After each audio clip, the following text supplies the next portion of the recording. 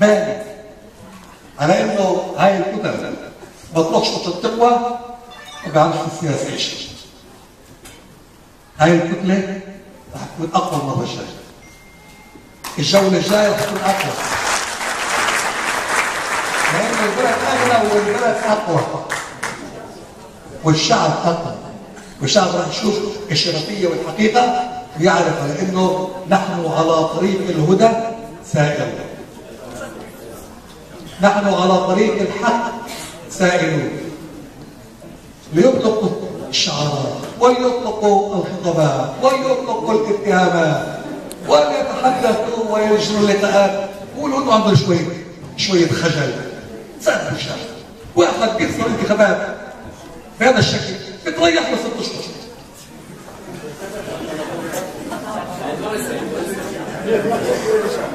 ولكن يعني كل إنسان هو.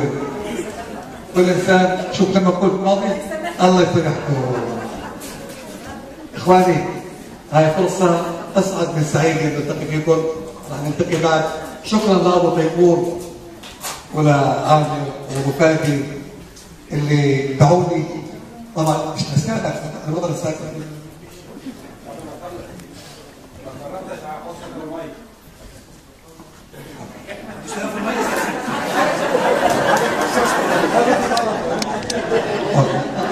قصة المياه قصة المياه قصة غريبة. دالية الكرمل دفعت آخر أربع سنوات 34 مليون شيكل خسارة واللي بكل شيء ثاني مش يحصل؟ 34 مليون شيكل. خدمة بقول لي هذيك المرة رئيس بلدية الرفيق قبل سنة شخصات قال لك خليش من أخذ قلت له كان يدي الشاطر تسليه 50 دقيقة أخذ كل شهر كان المجلس المحلي ذا الكرم يقصد بين 900 ألف شيكل لمليون شيكل بالحرب الواحدة. فينا فينا نشتغل زي زي شرطة. نفحص ونعمل باشا ومجد طلبة والمراقبة واخرين سيارات في الليل في النهار. لحد ما اكتشفنا أين أين أين تختلس المياه وقلت ليش واحد الشهر الأخير كانت نسبة الشباب في الكرمل 3 مليون شيكل. هذا يدل على مصداقية أهل الدالية على ثقة أهل الدالية على عادة الثقة بين المواطن وبين السلطة لأول مرة في تاريخ مجلس محلي من غير يسام مش راح تكون يسام ولا على بيت هذا طريق ولكن قضية المياه كانت هناك وعرف المجلس المحلي في جميع هذه السرقات أنا بقولها كمان مرة للإعلام عرف المجلس المحلي ورئيس المجلس المحلي بهذه السرقات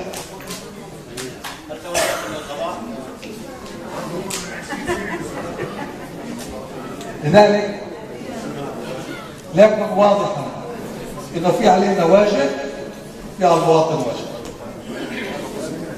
آه، رح ننضم لتاكيد مي إن شاء الله بعد فتره قريبة من حل مشكلة. في جمع مجلس المحلي فيك اخوذ فيك اخوذ فيه 40 مليون شيكل.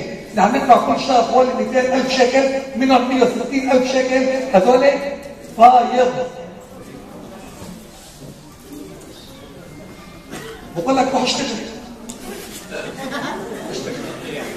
أروح اشتغل. اشتغل. اخاف الشكل ما يشتغل تعيينات؟ تعيينات كل تعيين شو حلوة قصه حلوة أنا بودي جابوني أسامي ست صبايا لوظيفه معينة. قالوا لي مين بدك؟ قالوا لي إيش؟ حسب القانون أفضل. مرشحة يجب أن تنتخب في الآخر كلمتين تغريب أبو حمود حلبي ورينا إيه بيراني حلبي. ريد. قالوا شو هذا؟ هذا ميلون. يروحوا له عرفنا المليحه اللي كلها مليحه اللي تجيب علامات اعلى هي بتكون هي بتكون جو قبل مدة على المخراج تبع الجنون. قالوا لي في خمسة ستة هون. مين؟ قلت لهم حسب بس فقط حسب الشكل أنا لا بتاخذ المخرزين ولا بتاخذ المخرزين تعيينات راح تكون تعيينات مهنية فقط مهنية. فقط مهنية. كل إنسان قبل العمل من غير ما يكون مؤهل لن يبقى فوق بيقدر يروح على كل محاكم صغيرة بس ما يمكن شوي شوي اصبروا عليه شوي شوي. ارجوش اللي ماشي على الطريق راح يوصل.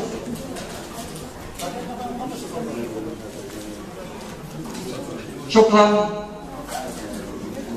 للداعية. شكرا للبلد اغلى شكرا لحبايبي نظام عيسى بشكل خاص.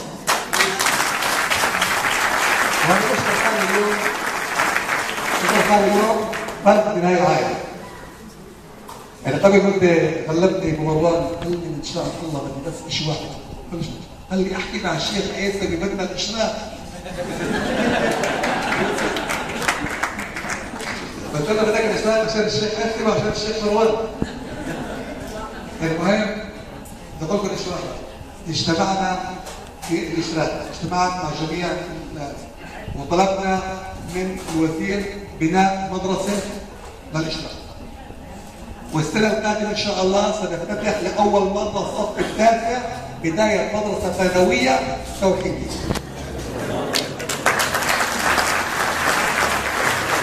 ذلك لاهالي أبو فادي الخطاب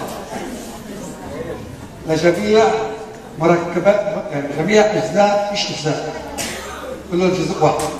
لجميع الأخوان وأعضاء البلد اغلب نحن الانتخابات الجاي إن شاء الله تكون انتخابات بأسلوب آخر جديد وعصري وأنا متأكد انه عملكم رح يكون له نتائج بنهايه هذه الجولة.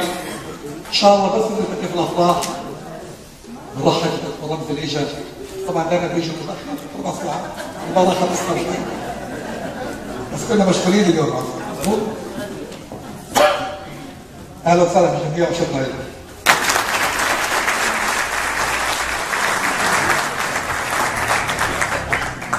طبعا أستاذ أنا ساعد علق ورا كلام الدكتور أكرم. قال بدنا نعطي هدوء لابو يوسف رفيق سنه أنا بقول لك نحن نعطينه 10 سنين هدوء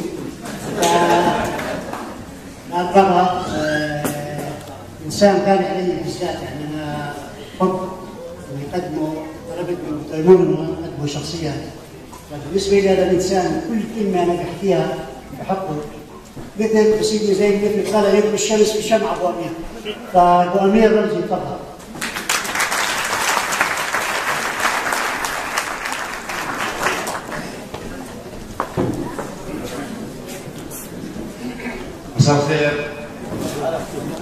رايح أقول عليه اتفاق كوتش سيد يوسف اما كان يعني شرف وافي يعطيك العافيه يوسف لكم هذا الأسبوع كان في عندنا لقاءين لقاء واحد في المجلس المحلي مع مجموعه كبيره في مكتب رئيس الحكومة ومكاتب كبيره وشركات وجهات مهنيه عديده على تطوير اقتصادي أو خطة لتطوير اقتصادي للبلد للسنوات القادمة وكان أبو مروان طبعا موجود. فهذا كان لقاء واحد مع أبو يوسف.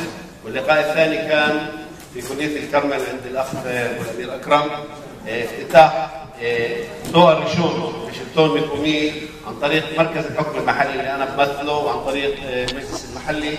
فلذلك يعني أنا مشترك الساحة الفيلوية حتى إذا موجود أنا اليوم في مكان آخر ولكن بالنسبة لي يظل البلد اغلى دائما.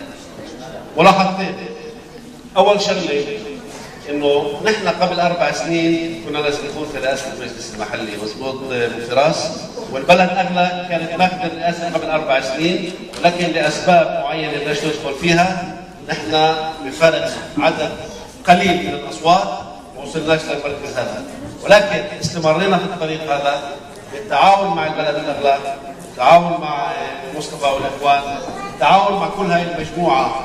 من هاي هاي النخبة وأنا بفكر إنه هاي النخبة بكل تواضع كان لها دور مهم جدا في نتائج الانتخابات هاي اللي كانت هاي بالنسبة لهذا الموضوع. والقضية الثانية بدي أحكيها هي إنه في أشخاص القيمين والمسؤولين عن هذا الموضوع. ومش دائما نحن نعطيهم حقهم. أنا شخصيا متنازل عن كل الكريديت وبعطي كريديت أول شيء لاخي تيمور وجدي اللي هو كان.